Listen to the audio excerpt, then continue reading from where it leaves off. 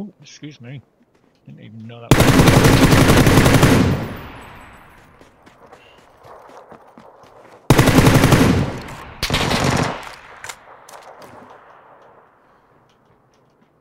Turn to your right.